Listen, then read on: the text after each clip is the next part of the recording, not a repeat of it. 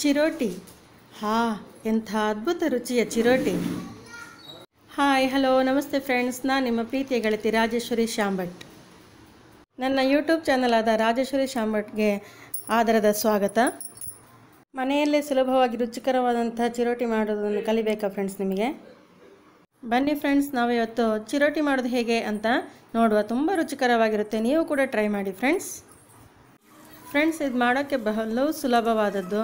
ಎಂತ ಬೇಡ ಇದಕ್ಕೆ. ಬರೀ ಚಿರೋಟಿ ರವೆ ಒಂದೇ ಇಂಗ್ರೀಡಿಯೆಂಟ್ ಬೇಕಾಗಿರುವಂಥದ್ದು.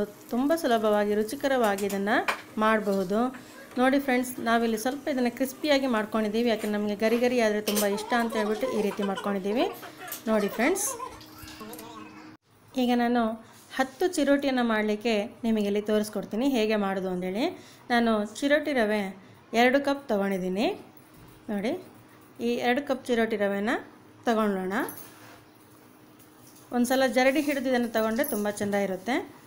ಹಾಗೆ ಒಂದು ಚಿಟಿಕೆ ಉಪ್ಪು, ಮತ್ತು ಬಿಸಿ ಬಿಸಿಯಾದಂತಹ ಎಣ್ಣೆ ಮೂರು ಟೀ ಸ್ಪೂನ್ ಹಾಕ್ಕೊಂಡಿದ್ದೀನಿ ಇದನ್ನೀಗ ನಾವು ಚೆನ್ನಾಗಿ ಮಿಕ್ಸ್ ಮಾಡಬೇಕು.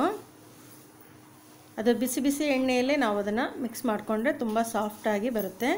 ಹಾಗೆ ಆ ಚಿರೋಟಿ ರವೆಯನ್ನು ಕಲಸಲಿಕ್ಕೆ ನಮಗೆ ಎಷ್ಟು ಬೇಕೋ ಅಷ್ಟು ನೀರನ್ನು ಹಾಕ್ಕೊಳ್ಳುವ ತುಂಬ ನೀರು ಹಾಕಬೇಡಿ.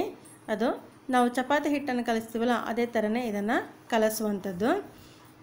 ನೋಡಿ, ಈ ರೀತಿ ಇದನ್ನು ಚೆನ್ನಾಗಿ ಮಿಕ್ಸ್ ಮಾಡ್ಕೊಳ್ಳಿ.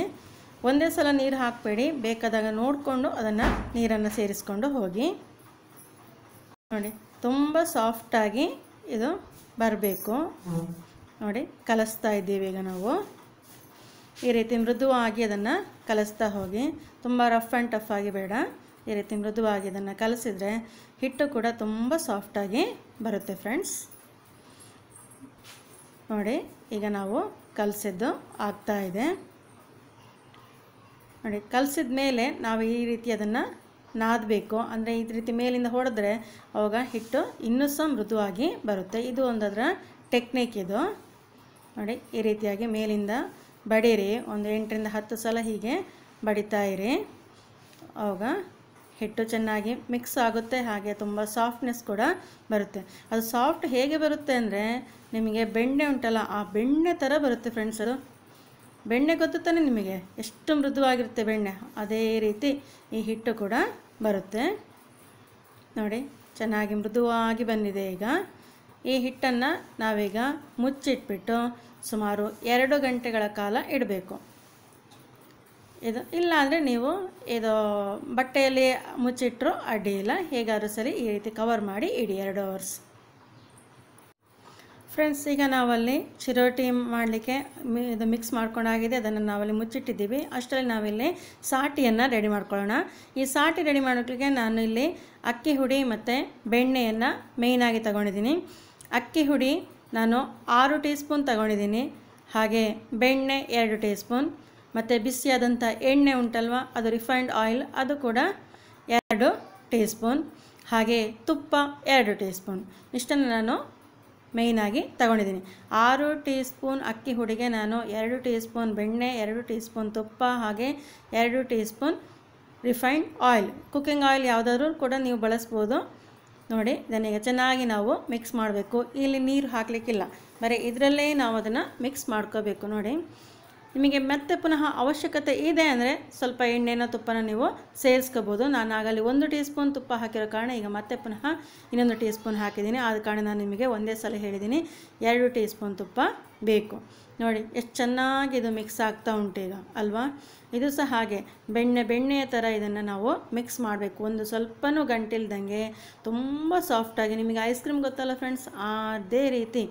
ಹಾಗೆ, ನೋಡಿ ನೋಡಿ, ಬೆಣ್ಣೆ ಬೆಣ್ಣೆ ಬಂತೀಗ, ಅಲ್ವಾ?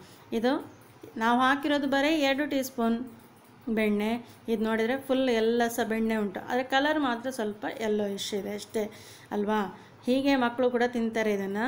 ಅಷ್ಟು ತುಂಬ ಸಾಫ್ಟಾಗಿ ಇದು ಬರುತ್ತೆ. ಅದನ್ನು ಮಿಕ್ಸ್ ಮಾಡಬೇಕು. ಇದು ನೀವು ಮಿಕ್ಸಿಂಗ್ ಎಷ್ಟು ಮಾಡಬೇಕಂದ್ರೆ ಸುಮಾರು ಮೂರಿಂದ ನಾಲ್ಕು ನಿಮಿಷ ಆದರೂ ನೀವು ಇದನ್ನು ಈ ರೀತಿ ಮಿಕ್ಸ್ ಮಾಡಬೇಕು. ಎಲ್ಲ ರೆಡಿ ಆದಮೇಲೆ ಈ ರೀತಿ ಅದನ್ನು ಕಲಸಿದ್ರೆ ತುಂಬ ಸಾಫ್ಟಾಗಿ ಬರುತ್ತೆ ಫ್ರೆಂಡ್ಸ್ ನೋಡಿ, ಎಷ್ಟು ಚೆನ್ನಾಗಿ ಸಾಫ್ಟ್ನೆಸ್ ಬರ್ತಾ ಉಂಟು, ಅಲ್ವಾ?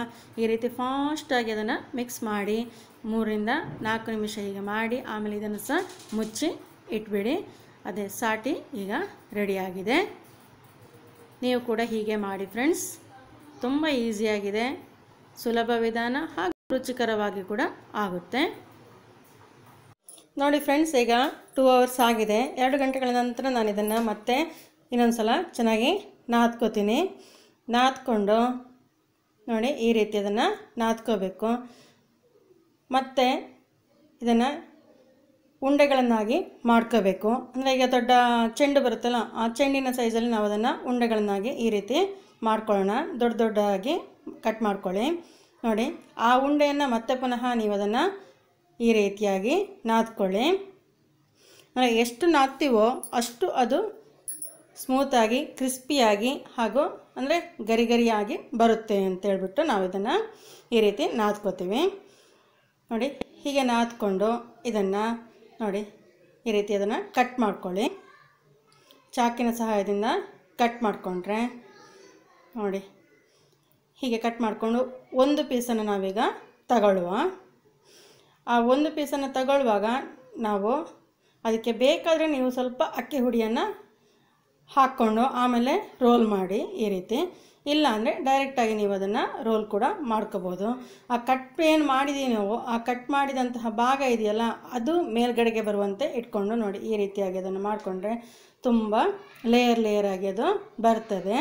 ಆದ ಕಾರಣ ನೋಡಿ ಫ್ರೆಂಡ್ಸ್ ಹೀಗೆ ಇದನ್ನು ನಾವು ರೋಲ್ ಮಾಡುವಂಥದ್ದು. ಎಷ್ಟು ತೆಳ್ಳಗೆ ಸಾಧ್ಯವೋ ಅಷ್ಟು ತೆಳ್ಳಗೆ ಈಗ ಅದನ್ನು ಲಟ್ಟಿಸ್ಕೊಳ್ಳಿ. ಹೀಗೆ ಲಟ್ಟಿಸ್ಕೊಂಡು ನಾವು ಅದನ್ನು ಇಟ್ಕೋಬೇಕು.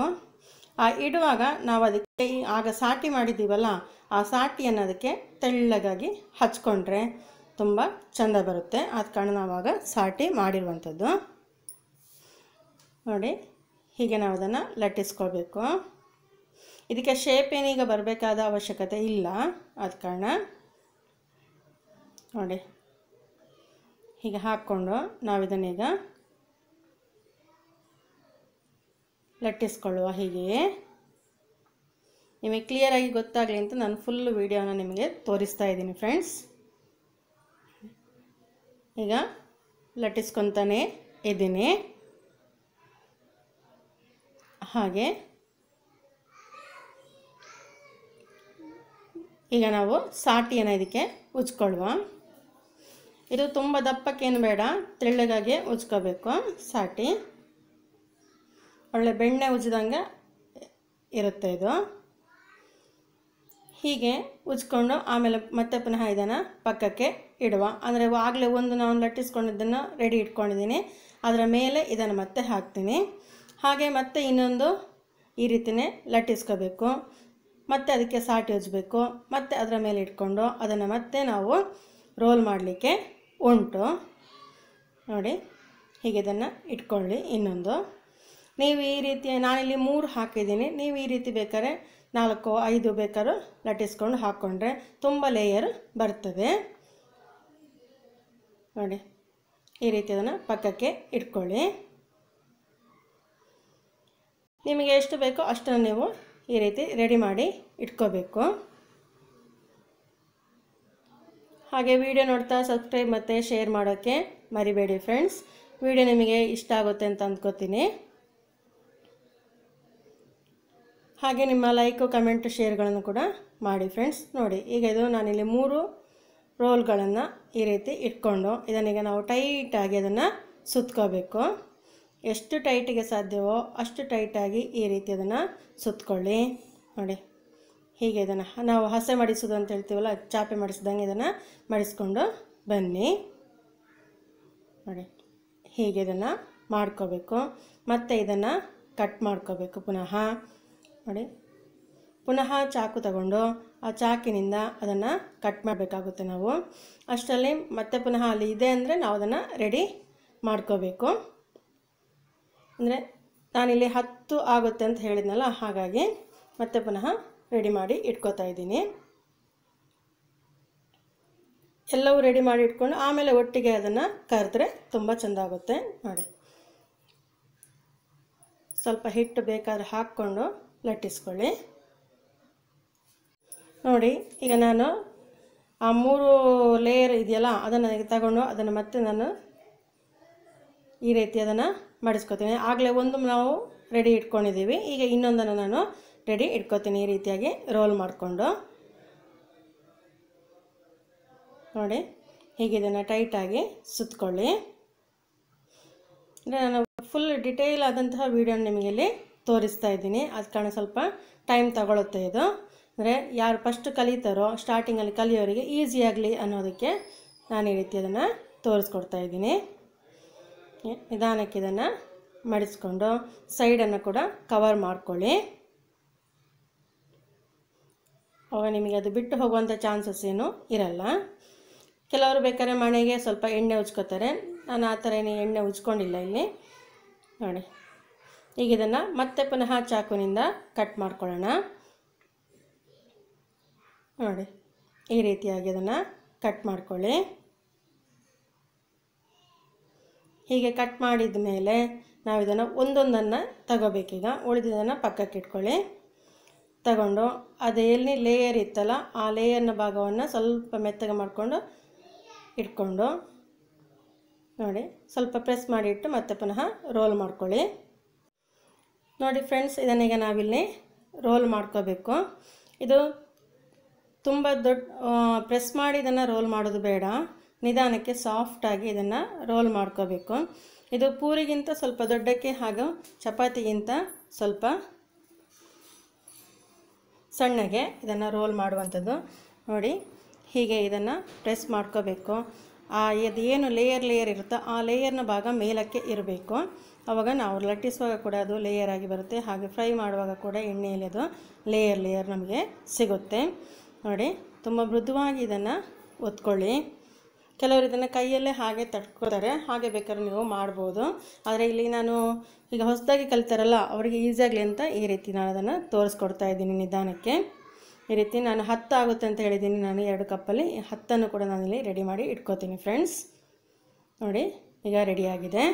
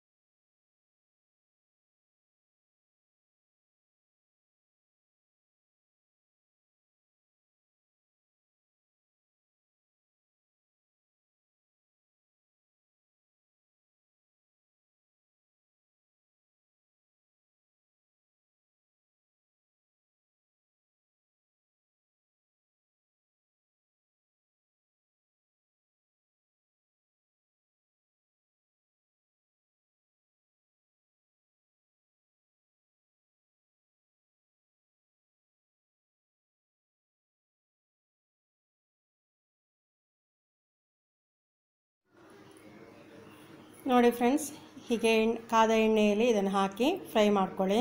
ನಾನು ಮತ್ತೆ ಇನ್ನೊಂದು ವಿಡಿಯೋ ನಿಮಗೆ ತೋರಿಸ್ತಾ ಇದ್ದೀನಿ, ಫ್ರೈ ಮಾಡೋದು. ಹೇಗೆ ಅಂತೇಳಿ ನಿಮಗೆ ಸರಿಯಾಗಿ ಕ್ಲೀನಾಗಿ ಗೊತ್ತಾಗುತ್ತೆ. ನೋಡಿ, ಎಣ್ಣೆಯಲ್ಲಿ ಮುಳುಗಿಸಿ ಮುಳುಗಿಸಿ ಅದನ್ನು ಫ್ರೈ ಮಾಡಿದರೆ ಚೆನ್ನಾಗಿ ಬೇಯುತ್ತೆ, ಹಾಗೆ ನೋಡಿ ಉಪ್ಕೊಳ್ಳುತ್ತೆ ಕೂಡ ಇದು. ಇಲ್ಲಾಂದರೆ ಅದು ಉಪ್ಕೊಳ್ಳಲ್ಲ ಅದ ಕಾರಣ ನಾವು ಅದನ್ನು ಈ ರೀತಿ ಮುಳುಗಿಸ್ಕೊಂಡು ಬೇಯಿಸ್ಕೊಳ್ಳೋಣ. ಹಾಗೆ ಎಣ್ಣೆಯನ್ನು ಸಟ್ಟುಕದಿಂದ ಹಾಕ್ಕೋಬೇಕು ಕೂಡ, ಅವಾಗ ಚೆನ್ನಾಗಿ ಅದು ಲೇಯರ್ ಆಗಿ ಕೂಡ ಬರುತ್ತೆ. ಒಳ್ಳೆ ಚೆನ್ನಾಗಿ ಕಾದ ಎಣ್ಣೆಯಲ್ಲೇ ಬೇಯಿಸಬೇಕು. ಇದನ್ನು ಮಧ್ಯಮ ಉರಿಯಲ್ಲಿ ಇಟ್ಕೊಂಡು ಬೇಯಿಸಬೇಕು. ಒಂದೇ ಸಲ ಅಂತ ಹೇಳ್ಬಿಟ್ಟು ನಾವು ದೊಡ್ಡ ಉರಿಯಲ್ಲಿ ಇಲ್ಲ ಸಣ್ಣ ಉರಿಯಲ್ಲಿ ಮಾಡಬಾರ್ದು. ಮಧ್ಯಮ ಉರಿಯಲ್ಲೇ ಇದನ್ನು ಬೇಯಿಸ್ಕೊಂಡ್ರೆ ತುಂಬ ಚೆಂದ ಬರುತ್ತೆ ಕೂಡ. ನೋಡಿ, ಹೇಗಿದು? ಮತ್ತೊಂದು ರೆಡಿ ಆಯಿತು. ಹೀಗೆ ನೀವು ಎಲ್ಲವನ್ನು ಲಟ್ಟಿಸ್ಕೊಂಡು ಏನು ಇಟ್ಟಿದ್ದೀನ ಅದನ್ನೆಲ್ಲ ಈಗ ಫ್ರೈ ಮಾಡಿಕೊಂಡು ರೆಡಿ ಇಟ್ಕೊಳ್ಳಿ. ಆಮೇಲೆ ಇದಕ್ಕೆ ನಾವು ಬಾದಾಮ್ ಹಾಲನ್ನು ಹಾಕುವಂಥದ್ದು. ಮುಂಚೆನೇ ಇದಕ್ಕೆ ಒಂದೊಂದಕ್ಕೆ ಹಾಕಿ ಇಟ್ಕೋಬೇಡಿ. ಸರ್ವ್ ಮಾಡುವಾಗ ಅದನ್ನು ಹಾಕಬೇಕು ನಾವು. ಅದು ಹೇಗೆ ಅಂತ ಕೂಡ ನಾನು ತೋರಿಸ್ಕೊಡ್ತೀನಿ ಫ್ರೆಂಡ್ಸ್ ನಿಮಗೆ. ನೋಡಿ ಫ್ರೆಂಡ್ಸ್ ನಾವೀಗ ಹಾಲನ್ನು ಕಾಯಲಿಕ್ಕೆ ಇಡುವ. ಹಾಲು ಕಾಯ್ತಾ ಇದ್ದಂಗೆ ನಾವಿಲ್ಲಿ ಸಕ್ಕರೆಯನ್ನು ಕೂಡ ಹುಡಿ ಮಾಡಿ ಇಟ್ಕೊಳ್ಳುವ ಸಕ್ಕರೆ ಹುಡಿ ಆಗಿದೆ ಈಗ. ಹಾಗೆ ಹಾಲು ಬಿಸಿಯಾಗಿದೆ. ಹಾಲು ಉಕ್ಕು ಬರ್ತಾ ಉಂಟು. ಅವಾಗ ನಾನು ಇದಕ್ಕೆ ಬಾದಾಮಿ ಹುಡಿಯನ್ನು ಹಾಕ್ತೀನಿ. ಬಾದಾಮಿ ಹುಡಿ ನಾನೊಂದು ಹಾ ಎಂಟು ಟೀ ಸ್ಪೂನಷ್ಟು ಬಾದಾಮಿ ಹುಡಿಯನ್ನು ಅರ್ಧ ಲೀಟರ್ ಹಾಲಿಗೆ ಹಾಕಿದ್ದೀನಿ. ಇದಕ್ಕೆ ಹಾಲು ಇಷ್ಟೇ ಬೇಕು ಬಾದಾಮಿ ಹಾಲು ಇಷ್ಟೇ ಬೇಕು ಸಕ್ಕರೆ ಇಷ್ಟೇ ಬೇಕಂತ ಎಂತ ಇಲ್ಲ. ನಿಮಗೆ ಸ್ವೀಟಿಗೆ ಅನುಸಾರವಾಗಿ ಇದನ್ನು ನೀವು ಹಾಕೋಬೋದು ನೋಡಿ ಈಗ ಸರ್ವ್ ಮಾಡುವಾಗ ನಾವು ಇದಕ್ಕೆ ಸಕ್ಕರೆ ಹುಡಿಯನ್ನು ಮೇಲಿಂದ ಹಾಕ್ಕೊಂಡು ಹಾಗೆ ಬಾದಾಮಿ ಹಾಲನ್ನು ಹಾಕೋಬೇಕು. ಇದು ನೀವು ಮುಂಚೆನೇ ರೆಡಿ ಮಾಡಿರೋದಲ್ಲ? ಸರ್ವ್ ಮಾಡುವಾಗ ಇದನ್ನು ಹಾಕ್ಕೊಂಡು ಕೊಡಬೇಕು. ಇಲ್ಲಾಂದರೆ ಅದು ಫುಲ್ ಮೆತ್ತಗಾಗುತ್ತೆ.